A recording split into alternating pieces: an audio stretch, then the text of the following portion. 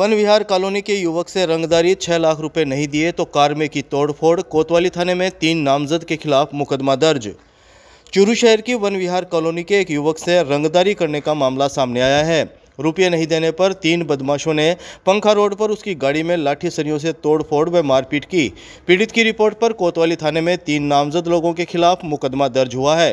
Car में हुई तोड़फोड़ का वीडियो सोशल मीडिया पर वायरल हो रहा है। कोतवाली थानाधिकारी अरविंद भारद्वाज ने बताया कि वन विहार कॉलोनी के 29 वर्षीय भुवनेश शर्मा ने रिपोर्ट दी कि जब वह पंखा रोड पर जा रहा था तो एक सफ़ेद रंग की बोलेरो में प्रतिभा नगर निवासी अमित सिंह, रतन नगर निवासी सुरेंद्र शर्मा तथा प्रतिभा नगर निवासी सुनील खंडेलवाल ने बोलेरो से उसकी कार को टक्कर मारी तथा लाठी सरियों से कार में तोड़फोड़ की। रिपोर्ट में बताया गया कि उसे जान से मारने के लिए उन्होंने मारपीट की और गाड़ी से नीचे उतारने का भी प्रयास किया।